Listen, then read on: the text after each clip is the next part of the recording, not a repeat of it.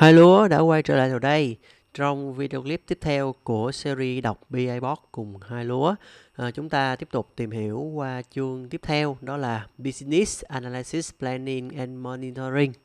Thì à, trong chương này các bạn sẽ thấy là có khoảng 4 cái đầu mục. Mỗi đồ mục này cũng khá là dài và cũng như là nó cũng rất là nhiều cái thông tin, rất là nhiều kiến thức mà chúng ta cần phải theo dõi, cần phải xử lý.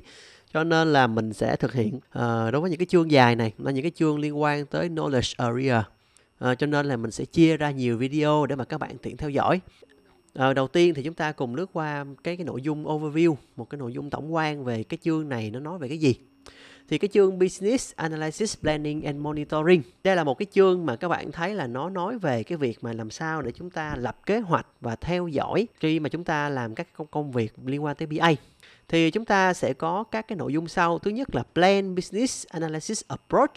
tức là chúng ta nói về cách mà chúng ta lên kế hoạch các cái công việc về BA từ việc là chúng ta tạo ra hoặc là chúng ta lựa chọn những cái phương pháp để mà chúng ta có thể là kế hoạch về các cái hoạt động, về các cái công việc, về những cái deliverable tức là những cái à, đầu ra, những cái output đầu ra plan stakeholder engagement. Thì ờ, một cái nói chung là các bạn thấy là trong bất kỳ một cái công việc nào của BA là chúng ta bring value to stakeholder mà. Thì làm sao để mà chúng ta có thể là khi mà chúng ta làm việc các cái stakeholder tham gia vào à, làm việc chung với BA tham gia vào BA như thế nào? Phần này nó liên quan tới chuyện là làm sao mà chúng ta có thể lựa chọn cái phương pháp tiếp cận tốt nhất? Làm sao để mà chúng ta nắm được là stakeholder người ta sẽ cần gì muốn gì từ phía BA của chúng ta? Rồi tiếp theo là Plan Business Analysis Governance. Cái governance này nó liên quan tới chuyện là việc quản trị. Ta sẽ có các cái nội dung liên quan tới việc là làm sao để mà chúng ta có thể quản trị yêu cầu nè, làm sao để mà chúng ta có thể quản trị uh, rủi ro, chúng ta làm sao để mà uh, phân bổ về mặt nguồn lực rồi chúng ta cũng sẽ đảm đảm bảo làm sao mà chúng ta có thể là quản trị một cách toàn cục một cái kế hoạch nó được trơn tru nó được hiệu quả và tiếp theo đó là Business Analysis Information Management thì các bạn thấy thông tin rất là nhiều. Các bạn ờ, làm ITBA thì các bạn cũng đã thấy là có rất là nhiều thông tin từ các phía stakeholder khác nhau. Ở đây các bạn sẽ thấy là đối với BA nói chung cái lượng thông tin đầu vào nó rất rất là cao, rất rất là nhiều dẫn tới là nếu như chúng ta không có một cái kế hoạch mà chúng ta quản trị một cách tốt nhất thì chúng ta sẽ gặp phải rất là nhiều cái vấn đề À, thì cái đầu tiên là các bạn thấy là bất kỳ chúng ta làm một cái chuyện gì thì chúng ta cần phải lên kế hoạch. Chúng ta lên kế hoạch về mặt phương pháp làm việc chúng ta lên kế hoạch về mặt con người tham gia lên kế hoạch về mặt nguồn lực lên kế hoạch về mặt quản trị. Thì chúng ta cũng phải lên rất là nhiều kế hoạch để mà chúng ta bắt đầu làm chứ không phải là chúng ta gặp một cái gì đó chúng ta cứ ào ào đi vào thì chúng ta không thể nào chúng ta có thể uh, xử lý một công việc một cách hiệu quả được. Cái mục cuối cùng ở chỗ này là identify BA performance improvement. BA performance improvement này thì nó nói tới cái khái niệm thứ nhất là làm sao để mà các bạn có thể theo dõi, đánh giá được một cái công việc của BA nó hiệu quả hay không. Nó đảm bảo được là những cái cam kết nó được thực thi, đảm bảo được là BA cho dù có sai có sai lầm, có ờ, làm gì thế nữa thì cũng thể là nắm được là ờ, một người BA người ta sẽ có thể là rút kinh nghiệm như thế nào, người ta sẽ có học được những cái gì và cũng như là ờ, những cái cơ hội mới nó sẽ được đạt được như thế nào quay lại cái mô hình Beckham ở dưới, các bạn sẽ thấy ở mỗi knowledge area, nó sẽ có một cái ứng dụng khác nhau về cái mô hình Beckham. Thì cái mô hình Beckham này mình cũng đã nói rất là nhiều lần, đây là một cái mô hình rất thâm thúy, rất là chuyên sâu của của BA và nó rất là tùy cơ ứng biến trong quá trình các bạn sử dụng. Chúng ta cùng xem qua những cái nội dung à, những cái nội dung về Beckham đối với cái chương planning and monitoring này nó như thế nào. Cái core concept đầu tiên là các bạn thấy change the act of transformation in response to a need. Ờ, một cái hoạt động để mà cải thiện được, chúng ta có thể giải quyết được cái chuyện needs đó. Thì đối với cái việc mà planning and monitoring thì nó sẽ quyết định được là làm sao những cái change này sẽ là có hiệu quả như thế nào. Rồi tiếp theo là needs. Các bạn thấy là nó về problems and opportunity thì chúng ta sẽ thấy là chúng ta sẽ phải chọn một cái phương pháp business analysis approach à, từ chúng ta có rất là nhiều cái phương pháp tiếp cận mà chúng ta cần phải blending ở đây đó là chúng ta cần một cái phương pháp tiếp cận một cách tốt nhất và cũng như là để làm sao mà để mà chúng ta có thể là từ cái phương pháp tiếp cận đó chúng ta có thể tạo nên cái sự thay đổi cho tổ chức uh, solution thì ở đây chúng ta sẽ đánh giá là trong quá trình chúng ta làm lên kế hoạch đúng không ạ trong quá trình chúng ta lên kế hoạch thì chúng ta phải làm sao để mà chúng ta đảm bảo được là cái giải pháp của nó của chúng ta nó được ok thì là cái những cái tiêu chí nào để đảm bảo được chuyện đó? Những cái giải pháp này nó được ờ, được đưa ra dựa trên những cái tiêu chí gì? Ờ, giải pháp đó được lên kế hoạch như thế nào? Và giải pháp đó sẽ được theo dõi được quan sát được đánh giá như thế nào? À, chúng, chúng ta sẽ thấy là à, nó cái với cái khâu planning này các bạn sẽ thấy mọi thứ nó đều là được lên kế hoạch. Mọi thứ nó sẽ được đánh giá theo góc độ kế hoạch chứ nó chưa có gì thực tế đây hết. Tiếp theo là stakeholder uh, stakeholder chúng ta sẽ thực hiện những cái phân tích để mà làm sao để mà chắc chắn là các cái kế hoạch này sẽ đáp ứng được cái chuyện là chúng ta giải quyết được những cái needs của các stakeholder. Cũng như là uh, các cái dạng các cái phương pháp các cái giải quyết này nó cũng sẽ take account for stakeholder characteristics tức là uh, các bạn thấy hiểu giống như ở góc độ mà các bạn làm việc đó, chúng ta phải take care về uh, trải nghiệm người dùng thì cái này thì mình có một cái ví dụ là các bạn có thể xem về ờ, uh, Mr. Quách Thái Công các bạn có thể lên YouTube các bạn xem Thái Công TV thì cái đoạn mà stakeholder này thì thì thực sự cái kỹ thuật mà Mr. Thái Công đó, để mà đánh giá được để mà xác định được cái niche, nè Mr. Thái Công đánh giá được cái tính cách cái văn hóa cái sở thích của một cái stakeholder đó, thì các bạn có thể xem tham khảo những cái này. Thì trong quá trình các bạn làm thì các bạn thấy là stakeholder nói chung á, hoặc là khách hàng nói riêng họ là những người mà các bạn cần cho giải quyết cho họ nè. Đầu tiên là các bạn thấy là mình cần giải quyết vấn đề cho họ. Và cái thứ hai là cái những cái phương pháp mà chúng ta cần phải đưa ra nó phải làm sao nó match với cái nhu cầu nó match với cái tính cách của các stakeholder với nhau uh, value à, thì value thì dễ thì chúng ta sẽ thấy là để mà à, thực hiện những cái kế hoạch này thì nó sẽ có cái output như thế nào và cái performance của nó cái hiệu quả cái hiệu suất cái à, đầu ra của nó nó sẽ đưa ra những cái giá trị nào cho các stakeholder. Và cái context À, context thì đây là một cái vấn đề rất quan trọng. Khi mà các bạn lên kế hoạch thì các bạn phải nắm các bạn phải hiểu rõ được là chúng ta đang làm gì trong tình huống nào chúng ta làm công việc như thế nào để mà chúng ta có thể đảm bảo được tất cả các cái tình huống phân tích của chúng ta nó phù hợp chúng ta không bị lạc đề. Cái context này nó luôn là một cái kim chỉ nam cho các bạn khi mà các bạn làm việc. Tại vì chúng ta không có xác định rõ cái context, chúng ta không có thực hiện rõ cái hoàn cảnh, chúng ta không xác định rõ cái hoàn cảnh, thì các bạn ờ, rất là dễ đi lạc đề và các bạn sẽ gặp phải rất là nhiều khó khăn khi mà các bạn đưa ra những kế hoạch là đưa ra những cái hướng đi là đưa ra những cái phân tích.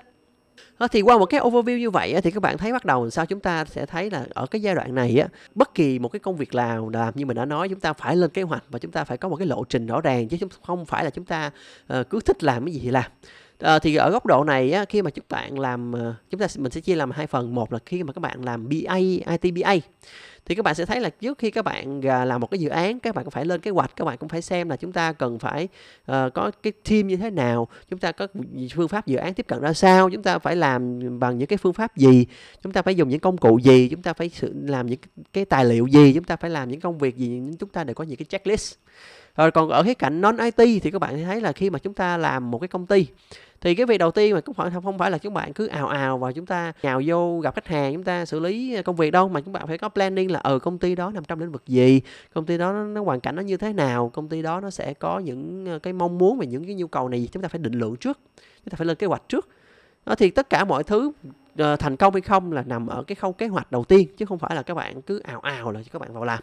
tiếp theo thì các bạn sẽ thấy là ờ, đây là một cái diagram, đây là một trong những cái mà khi các bạn học BI Box chúng ta phải để ý những cái diagram này, những cái sự kết nối giữa các thành phần à, tại vì các bạn sẽ thấy là các uh, knowledge area nó luôn được kết nối với nhau và các cái thành phần các cái technique các cái kỹ thuật các cái nội dung các cái step các cái process trong đó nó cũng là input là output của rất là nhiều cái góc độ của rất là nhiều cái uh, knowledge area khác nhau và nó nó là một giống như một cái mạng nhện như các bạn một cái mạng lưới nó được kết nối với nhau và các cái công việc nó được hoàn thành dựa trên một cái sự thể thống nhất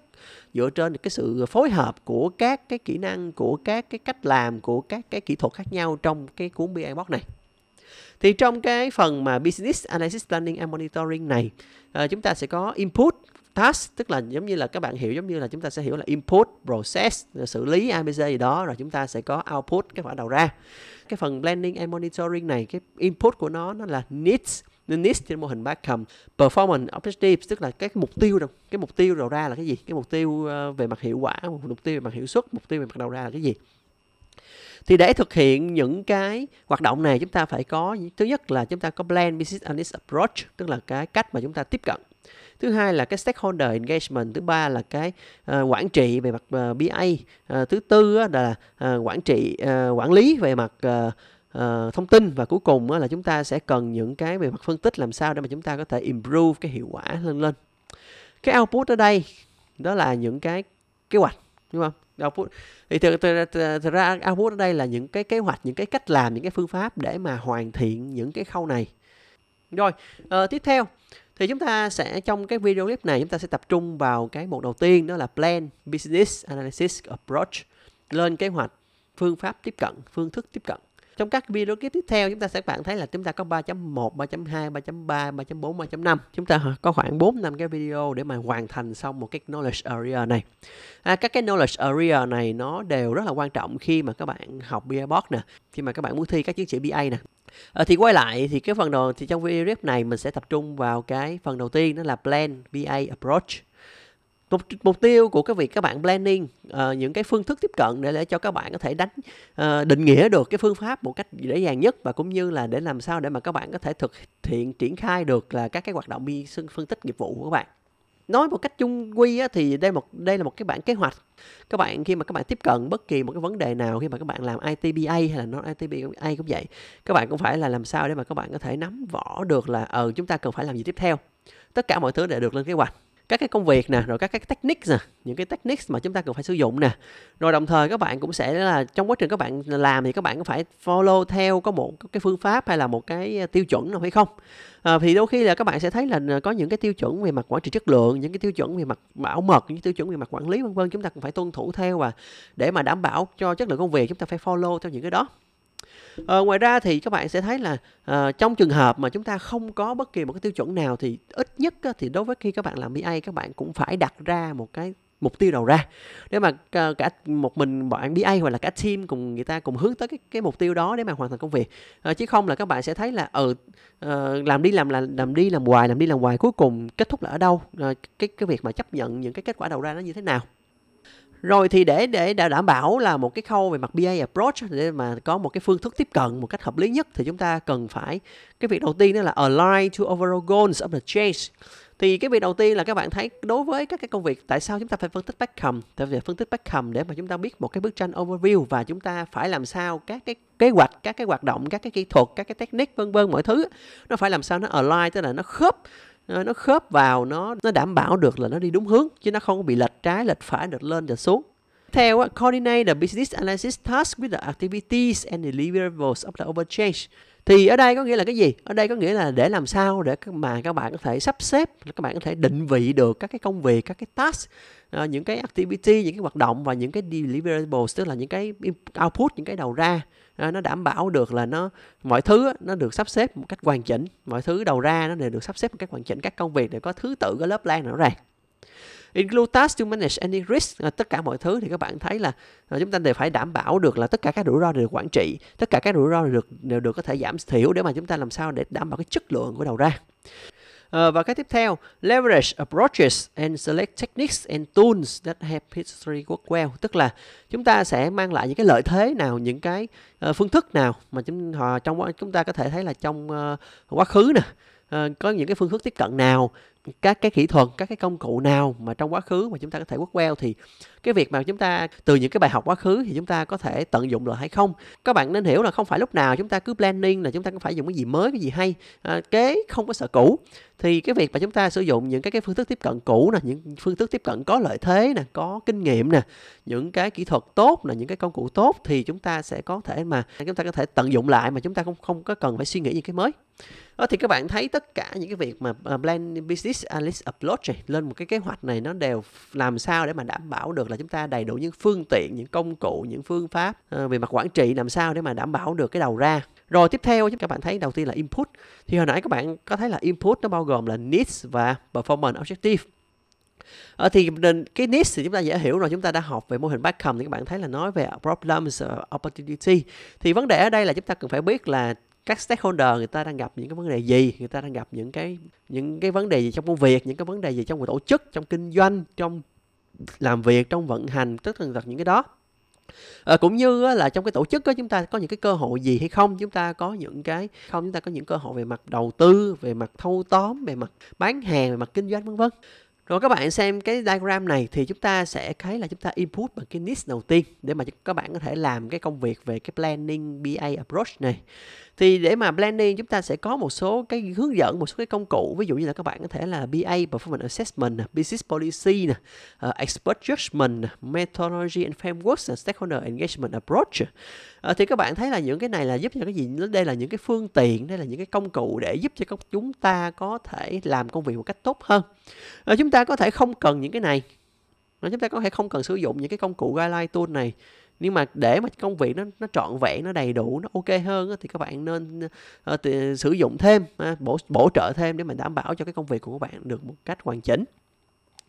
thì đầu ra rất rõ ràng một cái phương thức tiếp cận một cách phù hợp. Thì các bạn thấy ở đây là chúng ta sẽ có các cái task các cái công việc BA mà các bạn uh, sẽ phải là lấy cái output đó. Thì thì đây là tại sao mà các bạn thấy có rất là nhiều cái task khác nhau khi mà các bạn làm BA mà chúng ta cần phải xử lý cái đó. Thì một trong những cái này thì các bạn sẽ thấy là uh, chúng ta sẽ có những cái liên quan tới là uh, planning nè chúng ta có liên quan tới những cái khơi gợi yêu cầu nè chúng ta sẽ có những cái liên quan tới mà mặt quản trị rủi ro và mặt chiến lược nữa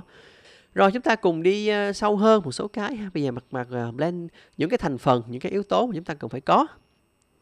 Thì đầu tiên là cái phương pháp về mặt cái phương pháp lập kế hoạch. Có rất là nhiều cái phương pháp lập kế hoạch mà chúng ta có thể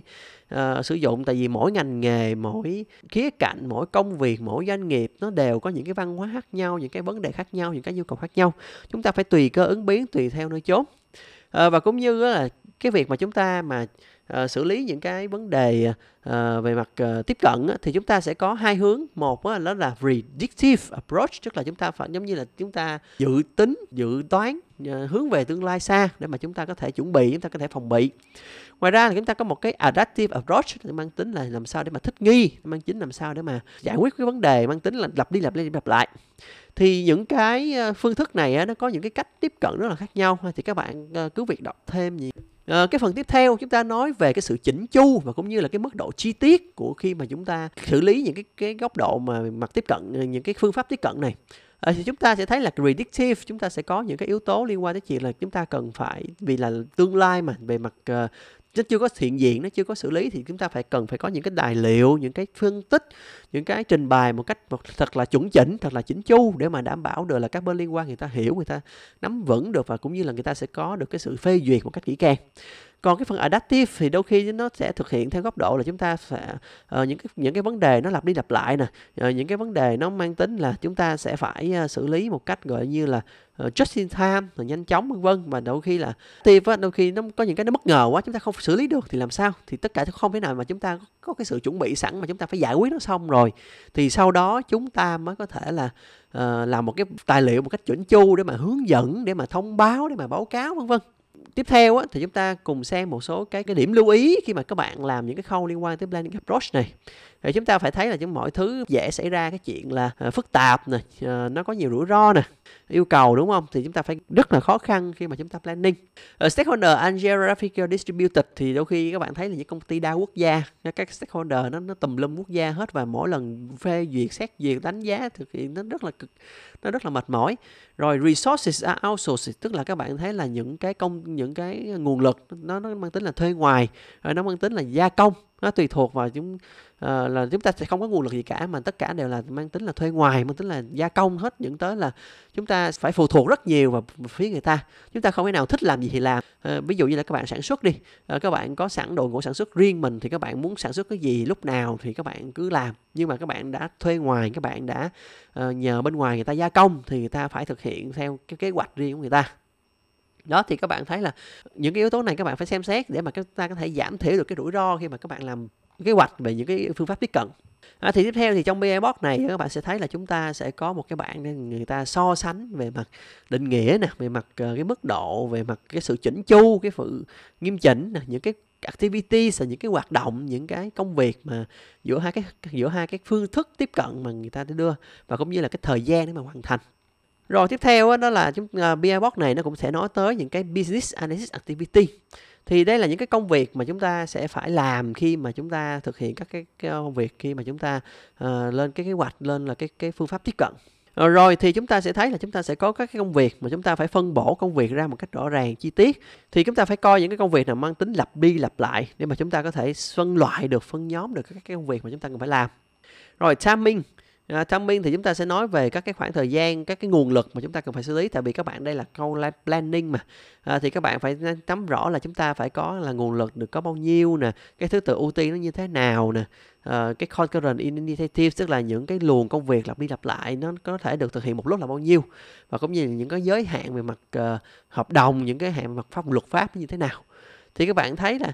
uh, đầu tiên chúng ta phải xác định các công việc, thứ hai là cái thời gian của các cái công việc đó rồi tiếp theo chúng ta phải xác định rõ cái mức độ phức tạp và cái mức độ rủi ro của nó. Chúng ta sẽ có các cái mỗi cái công việc nó đều có những cái mức độ rủi ro khác nhau những cái độ phức tạp khác nhau. Mà chúng ta phải xét theo là những cái trường hợp về mặt cái phạm cái phạm vi cái, cái độ lớn của cái việc thay đổi nè phạm trù uh, nghiệp vụ mà nó bị ảnh hưởng nè. Rồi ngoài ra chúng ta thấy có một số trường hợp chúng ta sẽ liên quan địa lý liên quan tới văn hóa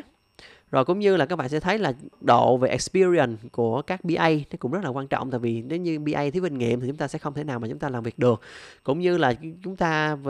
đối với công việc mà chuyên môn đòi hỏi chuyên môn cao thì đôi khi chúng ta phải có kiến thức chuyên ngành thì cái acceptance, tức là cái mức độ mà các bạn chấp nhận cái mức độ đầu ra, thì cái kết quả đầu ra, thì ở chỗ này các bạn thấy chúng ta làm cái gì? Chúng ta cũng phải có đưa ra những cái kết quả đầu ra, chúng ta cũng phải đưa ra những cái yếu tố liên quan tới chuyện là làm sao để mà chúng ta có thể thực hiện được là ờ, đánh giá được là cái kết quả đầu ra đó nó ổn hay không, có được chấp nhận hay không. Ờ, cái mục tiếp theo đó là guideline and tool. Thì đây là những cái cái kỹ thuật mà các bạn sẽ sử dụng khi mà các bạn ờ, làm cái này để mà hỗ trợ thêm. Các bạn không bắt buộc à, các bạn không bắt buộc nhưng các bạn cần phải bổ sung thêm những cái này. À, thì những cái này á, thì mình sẽ nói thêm vào những cái phần sau ha. Ngoài ra thì các bạn phải thấy là chúng ta sẽ có một cái chương liên quan tới techniques. Thì những cái techniques này brainstorming business case vân vân chúng ta sẽ có một cái một cái chương ờ, nó nó chuyên sâu hơn về những cái này thì khi tới cái chương 10 thì mình cũng sẽ nói từng technique từng technique này cho các bạn ha. Rồi cái phần 3.1.7 này nó liên quan tới các stakeholder, những cái stakeholder có thể liên quan trong quá trình các bạn làm. Thì ví dụ đầu tiên các bạn thấy domain subject matter expert tức là mỗi ngành nghề khác nhau chúng ta cần phải có những chuyên gia, những cái người có hiểu biết về chuyên môn. À, ngoài ra chúng ta sẽ có các bạn PE project manager, các bạn liên quan tới luật pháp, các bạn là tài trợ vân vân. Rồi thì output cuối cùng là business analyst approach. À, cái phần 3.2 thì mình sẽ nói ở video clip sau ha. Thì tóm lại trong cái phần mà blending BA approach này nó có các cái nội dung gì? Nó liên quan tới chuyện là khi mà chúng ta bắt đầu một cái dự án khi mà chúng ta bắt đầu một cái vấn đề một cái phân tích nào chúng ta đều phải xác định được là chúng ta cần phải làm việc theo một cái phương thức nào. Thì cái phương thức nó được dựa trên cái gì? Cái phương thức đó các bạn thấy input nó được dựa trên cái needs ờ, cái mong muốn cái nhu cầu cái problems cái opportunity rồi tiếp theo các bạn sẽ thấy là chúng ta cần phải có những cái góc độ liên quan tới cái nhắm được các các resource của chúng ta như thế nào các cái công việc mà chúng ta cần phải làm ra sao các cái à, yếu tố liên quan tới các cái bên liên quan liên quan tới uh, nhà tài trợ liên quan tới chuyên gia liên quan tới nhân sự nói chung để mà có một phương pháp tốt chúng ta phải khét rất là nhiều khía cạnh. Chứ chứ không phải là chúng ta uh, bên cạnh cái chuyện là các bạn tìm kiếm từ mỗi phương pháp cho từng cái dự án khác nhau thì các bạn có thể là chúng ta học hỏi là những cái cũ. Chúng ta có thể lấy những cái cũ chúng ta lấy những cái kinh nghiệm cũ lấy những công cụ cũ lấy những cái phương pháp tiếp cận cũ để mà chúng ta có thể áp dụng cho cái dự án hiện tại. Nó vẫn hiệu quả bình thường. Trong các video clip sắp tới chúng ta cùng tìm hiểu tiếp theo các cái mục liên trong cái chương knowledge area liên quan tới uh, business analysis planning and monitoring. Ờ, Hai lúa chào các bạn.